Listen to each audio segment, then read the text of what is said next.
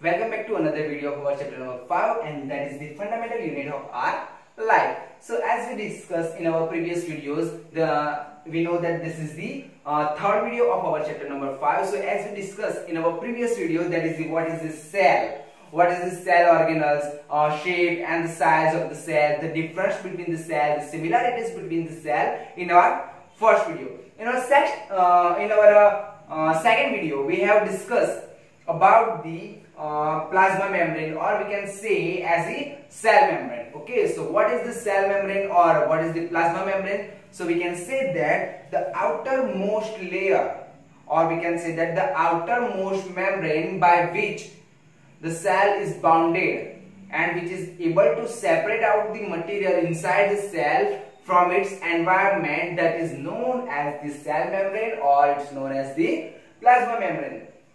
Then we have discussed about the in the cell membrane there are the some uh, transformations or there are the uh, carbon dioxide and the oxygen gases which are go inside and go outside from the cell membrane and as we know the cell membrane is the uh, one kind of the semi-permeable membrane or we can say as a selective permeable membrane which can allow only the certain material inside the cell and outside the cell. So by that phenomenon the carbon dioxide and the oxygen gases are come inside come across this plasma membrane that is inside the cell and outside the cell and hence this phenomenon that is known as the diffusion okay so what is the diffusion that is the to higher concentration to lower concentration का उसका जो flow रहता है that is known as the diffusion so uh, then after we are going uh, we are study that is the uh, process that is known as the osmosis so what So that is lower concentration to higher concentration का जो flow रहता है that is known as the osmosis और we can say that the lower concentration that means the dilute solution में से concentrated solution में उसका flow रहेगा. किसका? वाटर का. So we can say that the higher concentration of water कहाँ पर होगा? डायलेट सोल्यूशन में ज़्यादा होगा. और लोअर कॉन्सेंट्रेशन ऑफ़ वाटर कहाँ होगा? कॉन्सेंट्रेटेड सोल्यूशन में होगा. So we can say that कि मतलब कि from the higher concentration in terms of water so in terms of water की अगर बात करते हैं तो ये जो lower concentrated जो solution है जिसको हम dilute solution बोलते हैं अगर going to talk about in terms of uh, we are going to talk in terms of the water so we can say that it is the uh, the concentration of the water is higher in this solution than that of the this solution so we can say that from this higher concentration in terms of water. Again i am repeat, in terms of water. So, from the मतलब कि जहाँ पर water ज़्यादा होगा, वहाँ से कहा जाएगा, जहाँ पर कम है। दैट मीन्स कि अगर इसको हमने लोअर कंसंट्रेटेड सॉल्यूशन बोला, ये हायर कंसंट्रेटेड सॉल्यूशन है, लेकिन ये लोअर कंसंट्रेशन है दैट मीन्स कि वो डायरेक्ट सॉल्यूशन है। दैट मीन्स कि वहाँ पर वाटर ज़्यादा है तो मतलब वहाँ से वाटर कहा जाएगा सेल में और कब तक जाएगा? टिल द इक्विलिब्रियम मतलब कि जब तक उनके बीच में इक्विलिब्रियम एस्टैब्लिश नहीं होता, तब तक के लिए ये फ्लो चलता ही रहेगा, चलता ही रहेगा, चलता ही रहेगा। जैसे इक्विलिब्रियम पर पहुँच जाता है, तब क्या होगा कि ये जो ऑस्मोसिस का जो प्रोसेस है, वो ऐसा मानते हैं कि बंद हो जाएगा। लेकिन एक्चुअल में ये ऑस्मोसिस का प्रोसेस जो होता है, वो कभी भी बंद नहीं होता। होता क्या है? सेल से बाहर भी भी जाएगा सेल के अंदर भी जाएगा। मतलब कि some after the some time की जब मतलब कि उसका जो स्टेज आ जाता है, जो इक्विलिब्रियम एस्टैब्लिश हो जाता है, वहाँ पर क्या होगा the net flow that is की मतलब हमारे सेल से बाहर जाने वाला वाटर और सेल के अंदर आने वाला वाटर उसका नेट फ्लो कैसा हो जाएगा? ज़ीरो हो जाएगा और हम ऐसा बोलते हैं कि भाई मतलब कि वहाँ पर अभी ऑस्मोसिस स्टॉप हो गया, ठीक है? लेकिन वहाँ पर ऑस्मोसिस कभी भी स्टॉप होता नहीं है। So in the osmosis we have already about the three types of the solution that is the hypotonic solution hypertonic solution and the isotonic solution so what is the hypotonic solution so we can say that the concentration is uh, of the medium is lower than that of the cell. Then the water uh, from the medium come across or we can say that they come inside the cell from the medium into the cell. This phenomenon that is known as the or this kind of the solution that is known as the hypotonic solution.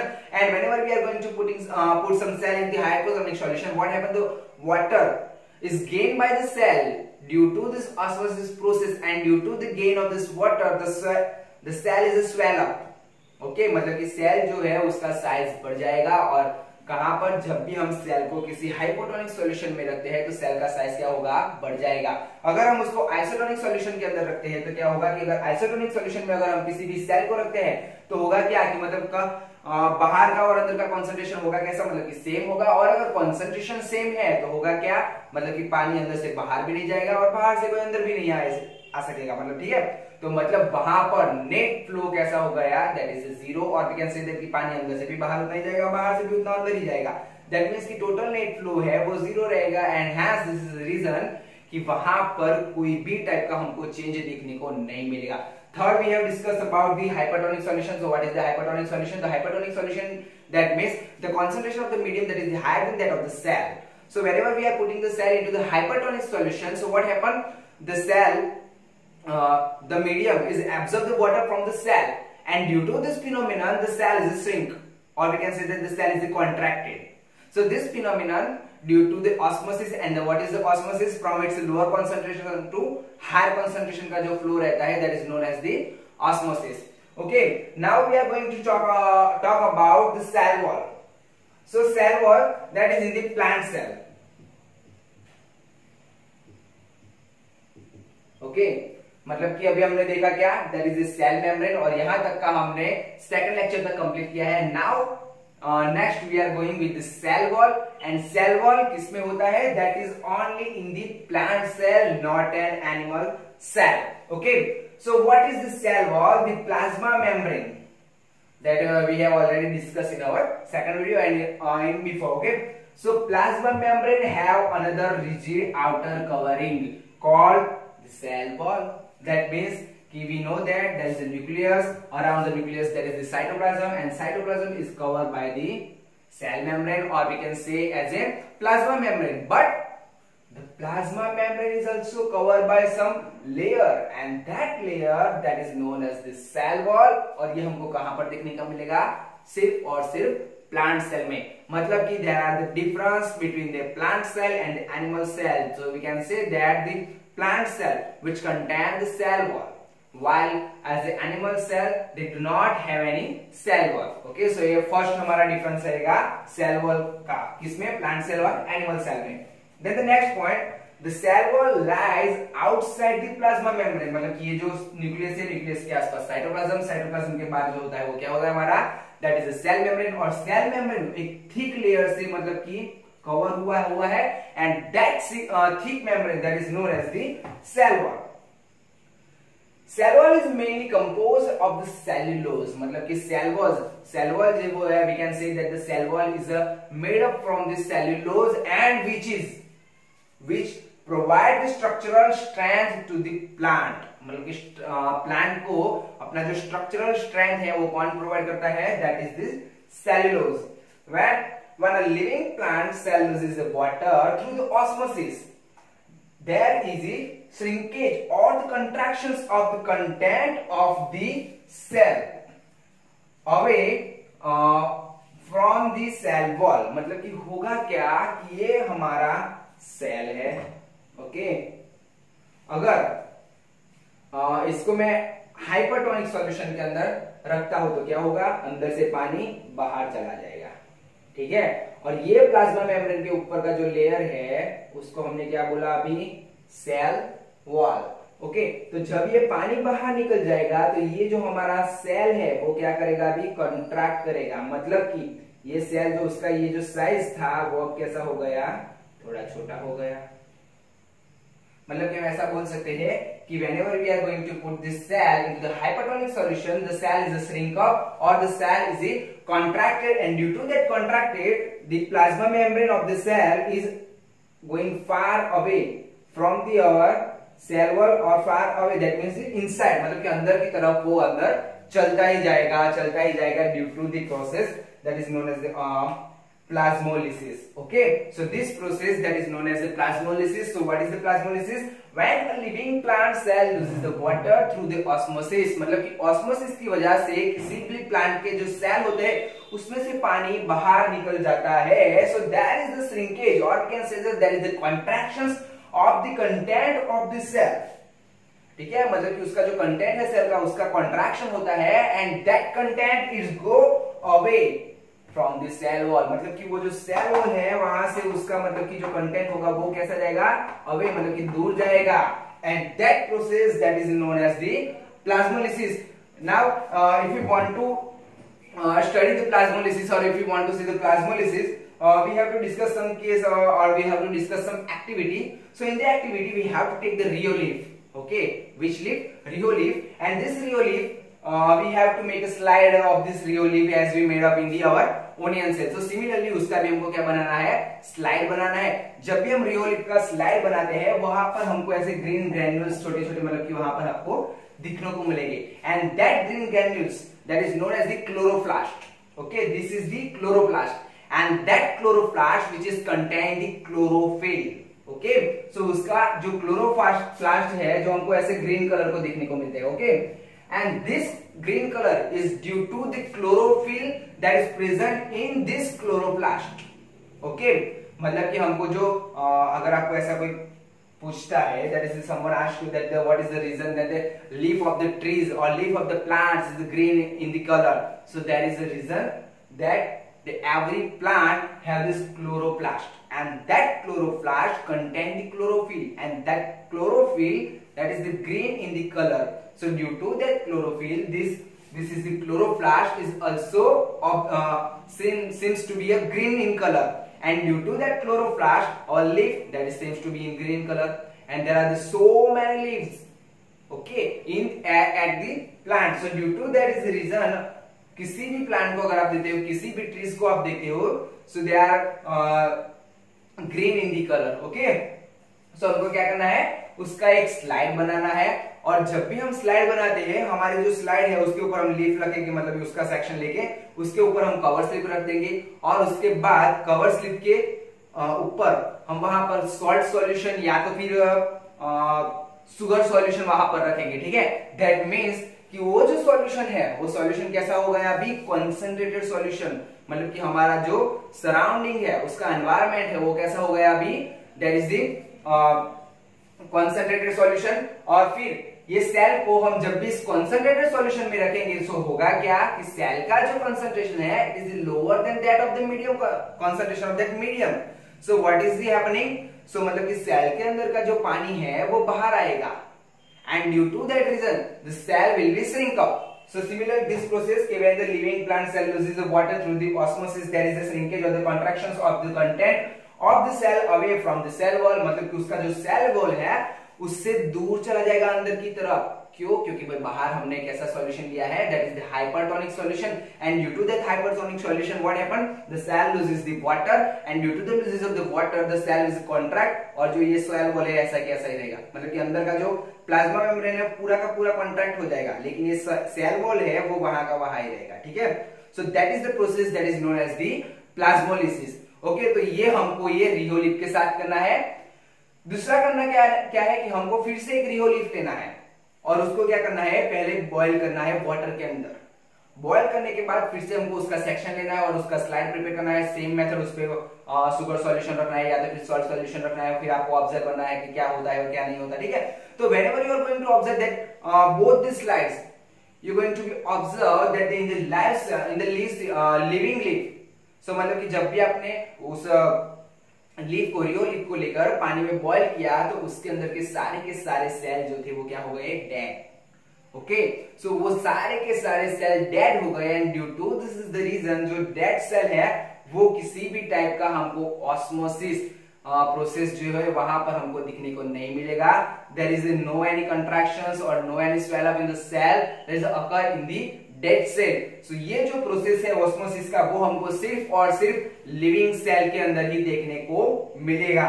So there is reason यहाँ पर क्या use किया है word that is the living plant okay मतलब कि जो ये process है दैट इज़ द प्लाज्मोलिसिस वो क्या है कि one kind of the contraction of the cell और जो सेल वॉल जो होता है, उससे वो प्लाज्मा मेम्ब्रेन अंदर की तरफ़ चला जाता है। And that process that is known as the plasmolysis and that plasmolysis only occur in the living plants okay so hope आपको इसके अंदर कोई भी आ, किसी भी टाइप का डाउट नहीं होगा। सेल वॉल के अंदर ठीक है? और रिमेंबर कि सेल वॉल आपको कहाँ पर देखने को मिलेगा? That only and only plant cell animal cell के अंदर सेल वॉल नहीं होता है।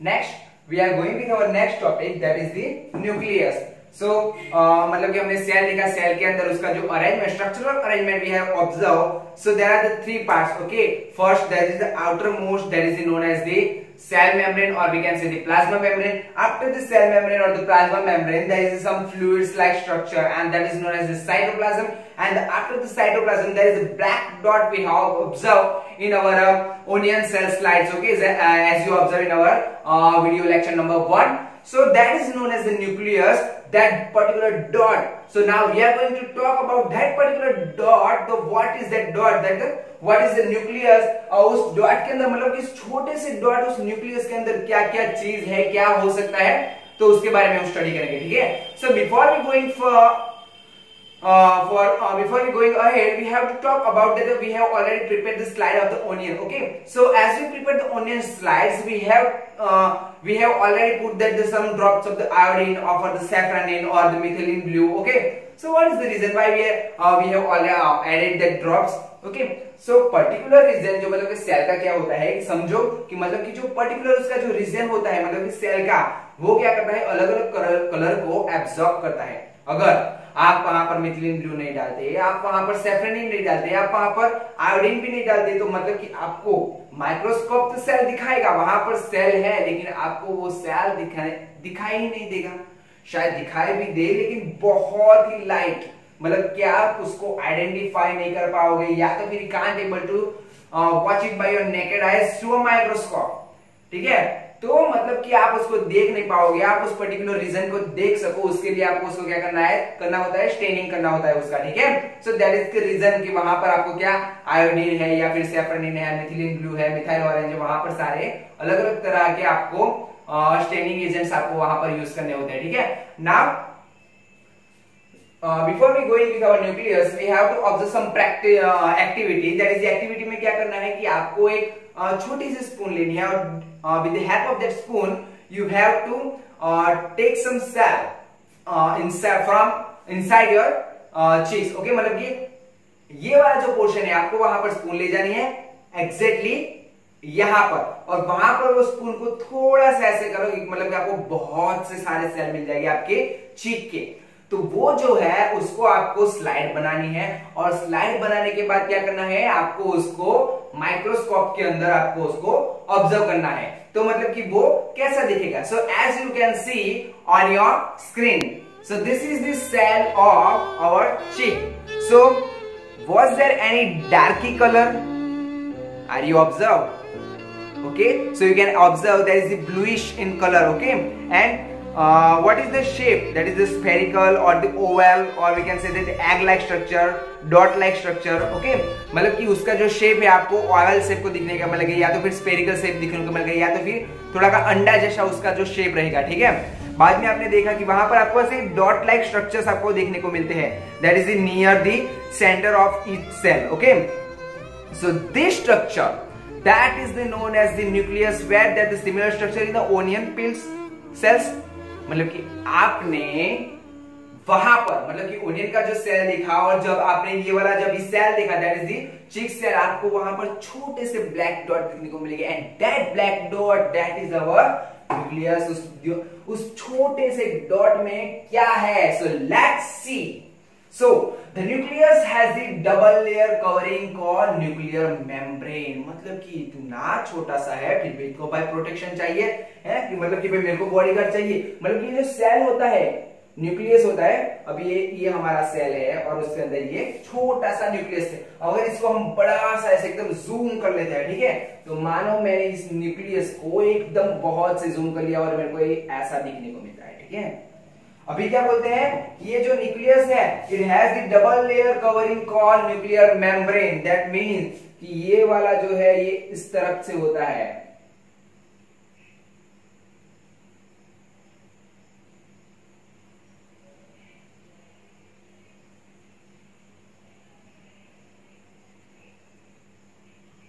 ठीक है ये ओके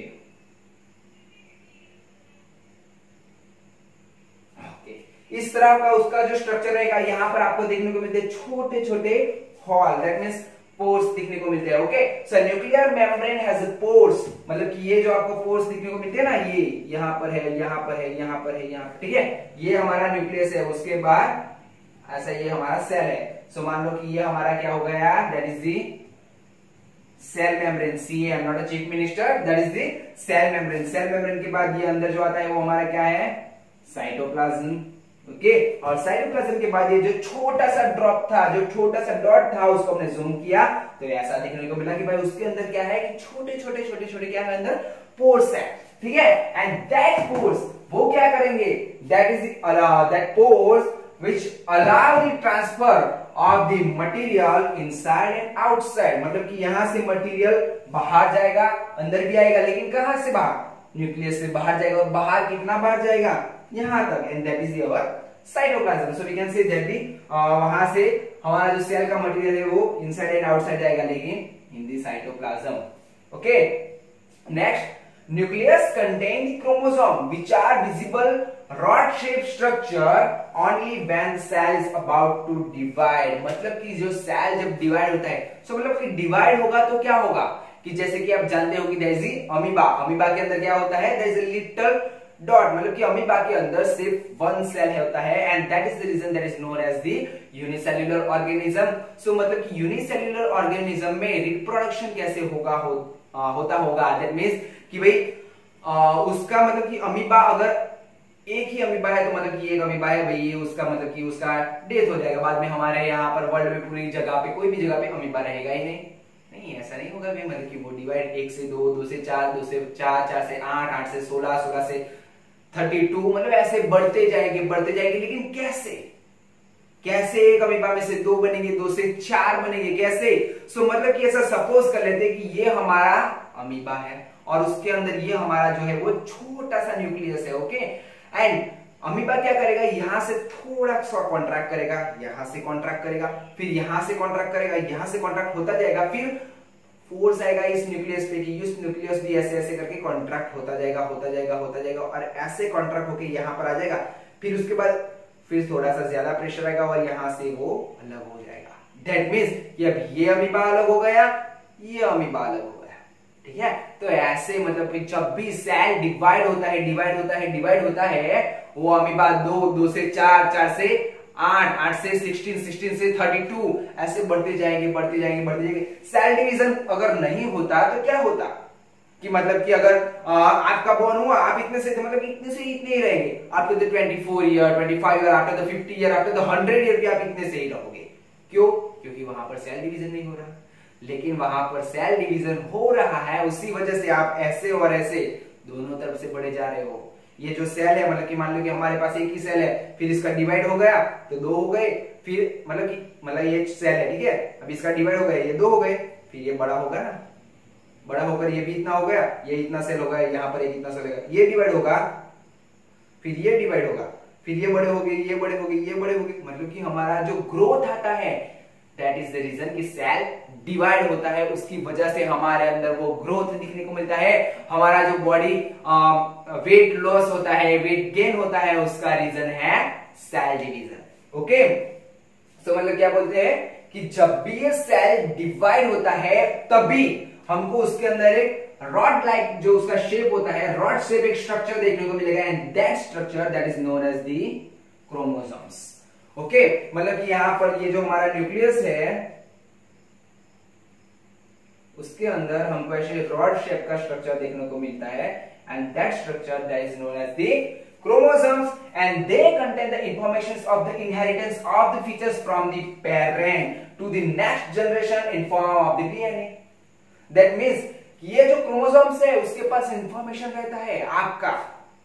कि आपका भाई आ, मतलब कि ऐसा कि मान लेते हैं कि आपने कभी ऐसा सुना होगा कि भाई आपके दादा या परदादा को किसी ना किसी को ऐसा भाई डायबिटीज़ था फिर हमको ये मतलब कि हेरिडिटी में मिला है कि भाई आ, मेरे पापा को तो नहीं था लेकिन मेरे को डायबिटीज़ है।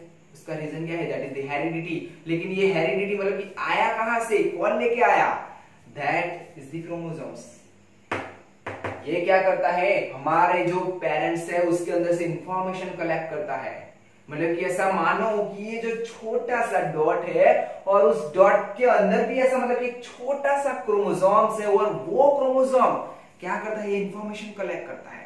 ऐसे ऐसी इंफॉर्मेशन कलेक्ट करता है। जैसे आपने सब ऐसा कि देखा होगा कि मतलब कि जब भी कोई नया बेबी बॉर्न होता है, ऐसे मतलब कि रिश्तेदार देखने का अच्छा ये तो आप पे गया है, ये तो मम्मा पे गया है, ये तो पापा पे गया है। लेकिन उसका रीजन क्या है? दैट इज़ दी की मतलब कि क्रोमोजोम्स ने इंफॉर्मेशन लिया वो इंफॉर्मेशन लेके आया और वही इंफॉर्मेशन को रीड किया गया और उसके आ, उसको रीड करने के बाद ऐसा स्ट्रक्चर बनाया गया। And that structure is look similar like that of the parents in मतलब कि इंफॉर्मेशन जो पेरेंट्स में से जो इंफॉर्मेशन आया है उसके रिगार्डिंग वो स्ट्रक्चर बना हुआ है। ठीक है? मतलब कि ये जो क्रोमोसोम्स है वो क्या करता है?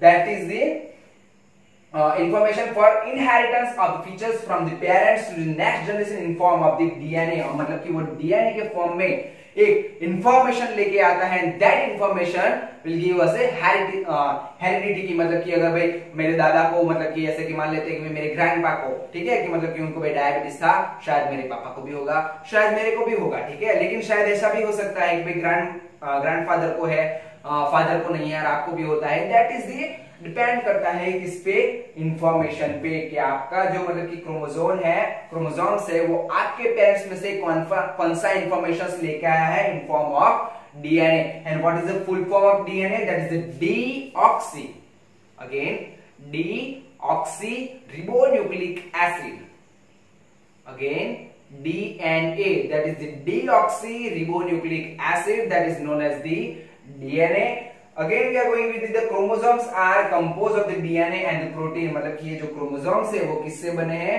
That is the DNA and protein ठीक है? मतलब कि डीएनए भी किससे बना है? That is the amino acid amino acid से भी एमिनो एसिड बने हैं प्रोटीन से। मतलब कि हम जो भी खाते हैं, वो बन जाते हैं। मतलब कि vitamin minerals protein carbohydrates and that protein are combined to form amino acid that amino acid are combined to form nucleic acid and that nucleic acid that is known as the DNA Again, next uh, we are going to the functional segment of the DNA are called genes. ठीक है? डीएनए का जो functional segment होता है उसको हम क्या बोलते हैं? जीन्स मतलब कि जीन्स के मतलब कि जो कैरेक्टर लेके आएगा वही कैरेक्टर आपके अंदर देखने को मिलेंगे। And next the nucleus play central role in the cellular reproduction ठीक है? जैसे कि अमीबा ने अमीबा के अंदर हमने देखा कि न्यूक्लियस डिवाइड होगा, तब जाके अमीबा एक से दो दो से चार हो गए can say that the nucleus play and central role in the cellular reproduction next we are going with our two type of the cell that is the first is the prokaryotic cell and the second one that is the eukaryotic cell so what is the prokaryotic cell so the ऐसे cell कि जिसका nucleus well defined नहीं है। मतलब well defined नहीं है that means कि उसका कोई डेफिनेशन नहीं है। नहीं नहीं, ऐसा नहीं। Well defined in that means कि उसके बाहर ये जो न्यूक्लियर मेम्ब्रेन है, वो नहीं है। अगर भाई मान लो कि न्यूक्लियर मेम्ब्रेन नहीं है तो होगा क्या? कि ये हमारा सेल है, और सेल के अंदर आपको न्यूक्लियस कहीं पर दिखने के नहीं मिलेगा। मतलब कि ये ये उसका जो न्यूक्लियर मेम्ब्रेन इसको जो बोलते हैं न्यूक्लियर मेम्ब्रेन है, उसकी वजह से आप माइक्रोस्कोप में उसको देख सकते हो। अल्ट्रा माइक्रोस्कोप चाहिए आपको उसके लिए। तो मतलब कि न्यूक्लियर मेम्ब्रेन है, तभी जाके आप न्यूक्लियस को देख सकते हो, लेकिन अगर वहाँ पर न्यूक्लियर मेम्ब्रेन है ही नहीं तो आप यहाँ पर ड्रॉ क्या करोगे? या, ये ठीक है मतलब कि हमारा अगर प्लांट सेल होगा तो सेल वॉल है, उसके बाद सेल मेम्ब्रेन अगर एनिमल सेल होगा तो ये डायरेक्टली हमारा क्या है सेल मेम्ब्रेन या फिर प्लाज्मा मेम्ब्रेन और ये आसपास में जो है, वो हमारा है, क्या है? दैट इज़ दी साइटोप्लाज्म और यहाँ पर कहीं ना कहीं मतलब कि न्यूक्लियस होगा। लेकिन उसका क्या है? न्यूक्लियर मेम्ब्रेन नहीं है and that is why we can able to see it okay but they contain only one chromosome ठीक है? मतलब कि जिसका न्यूक्लियस uh, जो है वो वेल uh, डिफाइनाइट well नहीं है जिसके अंदर सिर्फ़ और सिर्फ़ वन क्रोमोसोम है that kind of the cell that is known as the prokaryotic cell and another important thing that is कि वहाँ पर अगर जो न्यूक्लियस नहीं है सो so, उसको हम क्या बोलेंगे? न्यूक्लियोइड ठीक है? प्रोकैरियोटिक सेल में क्या होगा? न्यूक्लियस नहीं होगा लेकिन क्या होगा? न्यूक्लियोइड होगा. And if you are going to talk about the eukaryotic cell, so we can say that, that it has some, uh, it has a well-defined nucleus. Okay, जैसे कि ये है इसका न्यूक्लियस जो है कैसा है कि भाई वेल डिफाइंड है उसका न्यूक्लियर मेम्ब्रेन है वहाँ पर पोर्स है उसके अंदर क्या है दैट इज़ क्रोमोसोम्स है उसके पास बहुत सारा इंफॉर्मेशन है ओके इंफॉर्मेशन तो उसके पास भी होगा लेकिन उसका जो डिफाइंड है that is a well defined nucleus उसके अंदर है and has this is known as the eukaryotic cell अगर क्रोमोसोम्स की बात करें तो उसके पास दो, तीन या उससे ज़्यादा क्रोमोसोम्स होते हैं। So there is the difference between the eukaryotic cell and the prokaryotic cell what is the prokaryotic cell मतलब कि उसका जो न्यूक्लियस है that is not well defined उसके पास क्रोमोसोम्स कितने हैं? एक ही क्रोमोसोम्स है। उसके अंदर न्यूक्लियस नहीं होगा उसकी वजह से हम उसको क्या बोलेंगे? Nucleoids again nucleoids okay so मतलब न्यूक्लियस नहीं है hence it is known as a nucleoid और ऐसा जो सेल होता है, उसको हम बोलते हैं prokaryotic cell and eukaryotic cell that which have the well defined nucleus and मतलब कि उसके अंदर न्यूक्लियर मेम्ब्रेन भी आपको देखने को मिलेगा, इसके अंदर न्यूक्लियर मेम्ब्रेन आपको देखने को नहीं मिलेगा. That is the difference between the nuclear prokaryotic cell and the eukaryotic cell okay और यहाँ पर क्रोमोसोम्स यहाँ पर एक ही क्रोमोसोम्स होंगे जबकि यहाँ पर दो या तीन, उससे ज़्यादा भी क्रोमोसोम्स हो सकते हैं. So that's all about our today's lecture मतलब कि ये आज हमारा खत्म हुआ यहाँ पर सेल वॉल एंड उसके बाद न्यूक्लियस न्यूक्लियस में हमने क्या देखा? कि कैसा न्यूक्लियस होता है, उसका कवरिंग कैसा होता है, फिर उसके बाद हमने देखा साइटो सॉरी क्रोमोसोम्स क्रोमोसोम्स का शेप देखा। उसके बाद हमने क्रोमोसोम्स के अंदर डीएनए के बारे में इंफॉर्मेशन लिया। उसके बाद हमने क्या किया? तो प्रोडक्ट मतलब कि उसका जो स्ट्रक्चर जो होता है क्रोमोसोम्स का, वो किससे बना हुआ है? That is DNA and protein then after we have studied about the eukaryotic cell and then the prokaryotic cell. So that's all about the today's lecture. So hope will like uh, our today's lecture. That's about the fundamental unit of our life that is belongs from the biology. So go and make your note clear about it. And if you have any doubt then ask me in personal. Thank you